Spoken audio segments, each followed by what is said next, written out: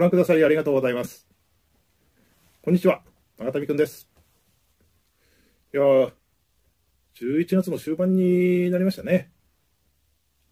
えー、だいぶ、えー、寒くなりましたけれど、皆さん風邪などひいてませんか？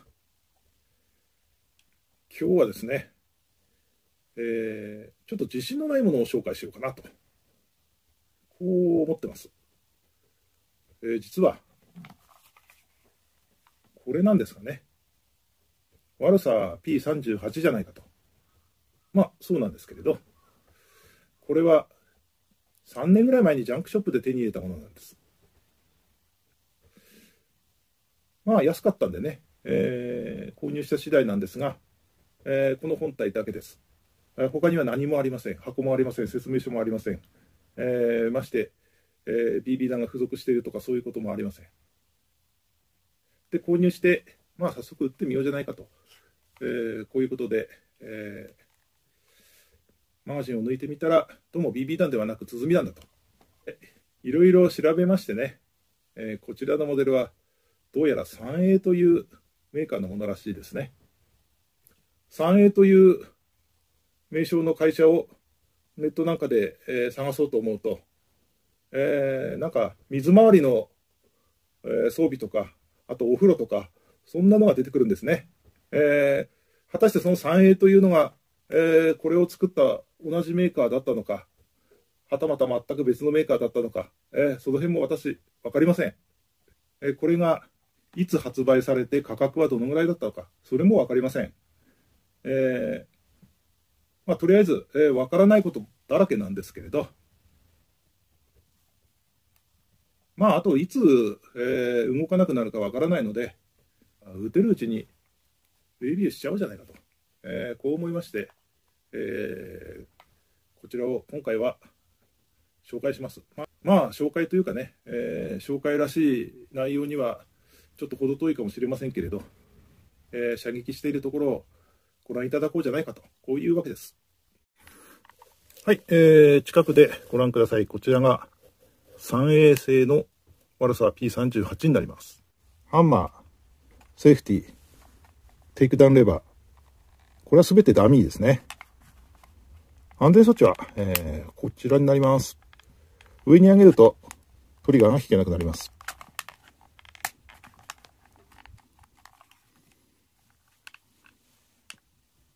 マガジンストッパーもダミーですね。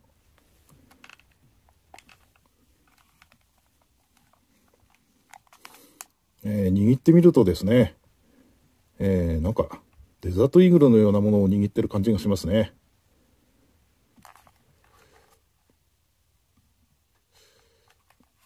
グリップがね、太いんですね。はい、えー、こちらは、えー、ほぼ同じ時期のモデルと思われる、米沢製の悪さ P38 なんですけれど、はい、えー、やはりグリップですね。えー、グリップちょっと測ってみますかね。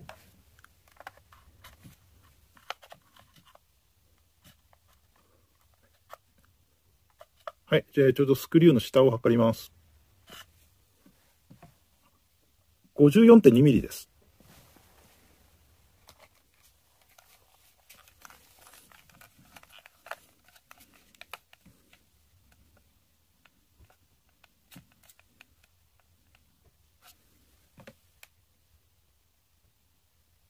米沢製は52.9ミリです。あとは厚みですね。はい、えー、同じようにスクリューの下を測りますと、3衛星は33.8ミリです。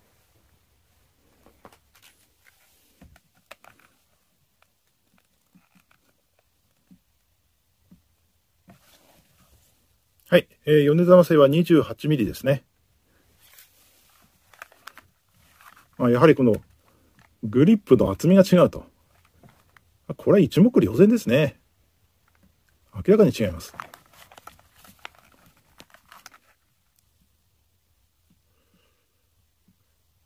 まあ、ですんで、えー、握った時の感じがですね、なんか P38 っぽくないなと ちょっと違和感があったんですね。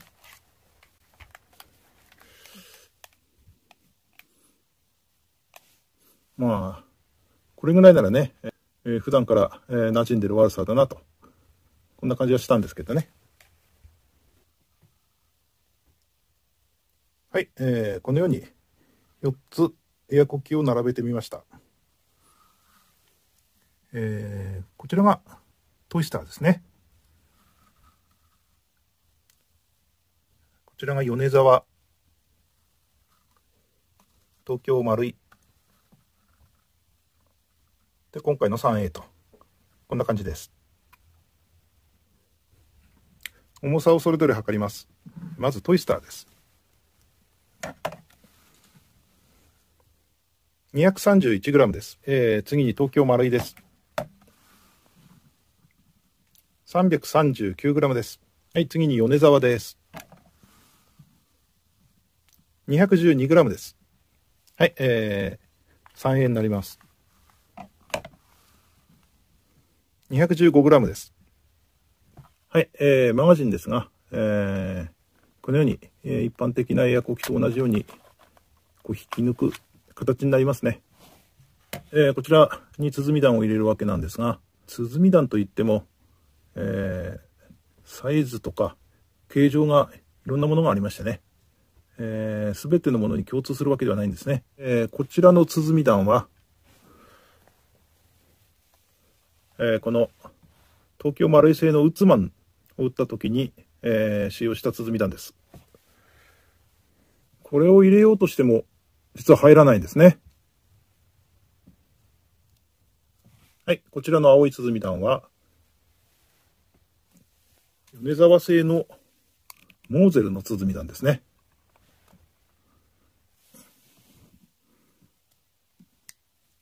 これは入るんですね。しかしちょっと緩いですね。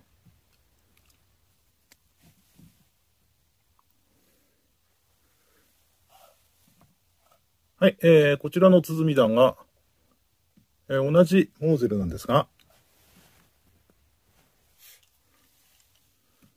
真っ白製のモーデルになります。こちらは全く緩いですね。まあ、この真っ白製のモーゼルなんですが、えー、鼓なんていうと7ミリのイメージがあるんですけれど、こちら5.6ミリしかないですね。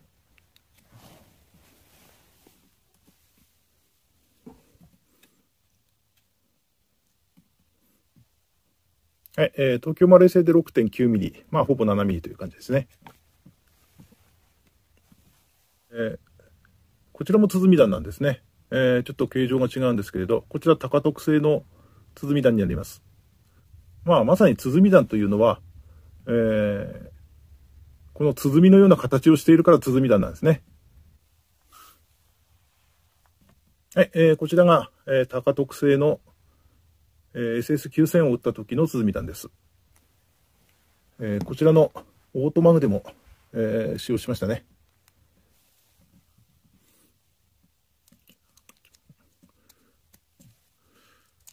ちらなんか一番しっくりくるんですね。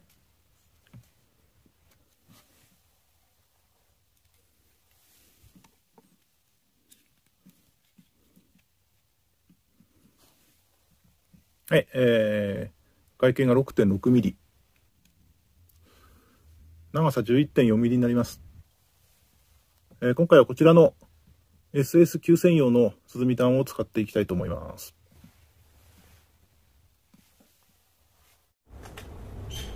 はい、えー、気温10.5度です。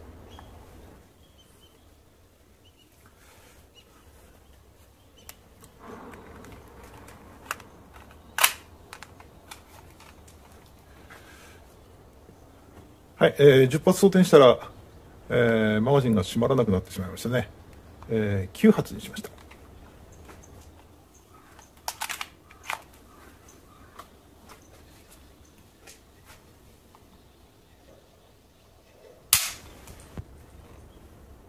6.7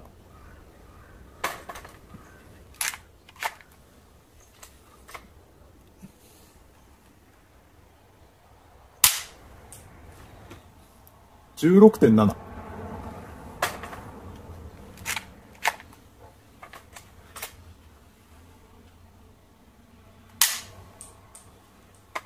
十三点六九。もう一発いきますか。最初の一発何だったんでしょうね。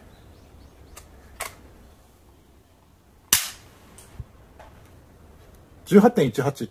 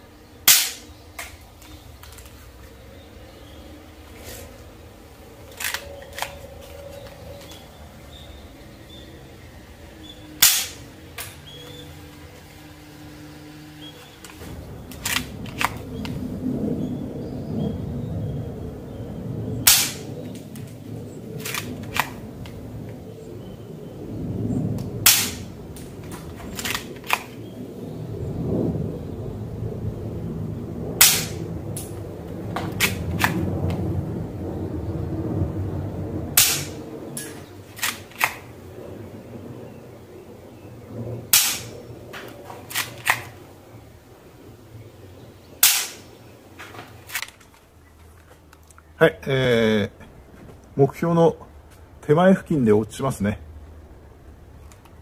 えー、かなり上に、えー、角度を取ると、えー、空き缶を飛び越えるものもあったんですけれど、約、えー、13メートルで、えー、飛距離は、7メートルか8メートルぐらいですね。うん。まあ、この距離でちょっと狙うのは無理ですね。えーえー、鼓弾としてはごく標準的な性能だと思います。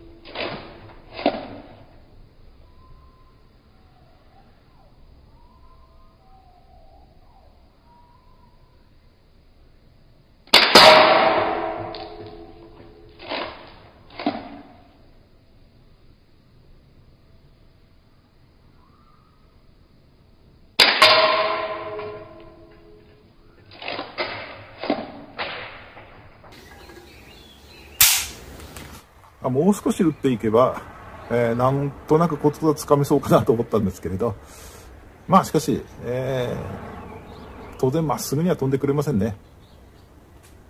えー、鼓弾非常に、えー、今手に入りにくいんでね、えー、射撃はこんなところでご勘弁ください。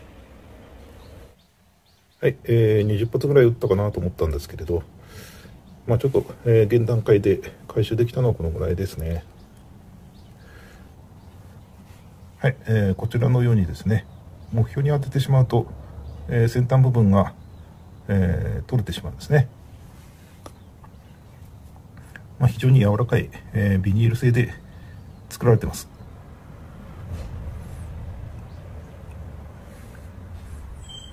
まあ当然鼓弾はバイオではないのでね、えーえー、さらに、えー、目を凝らして回収していきたいと思います。再現性のモデルについて詳しい情報をお持ちの方いらっしゃいましたらぜひコメントお願いします。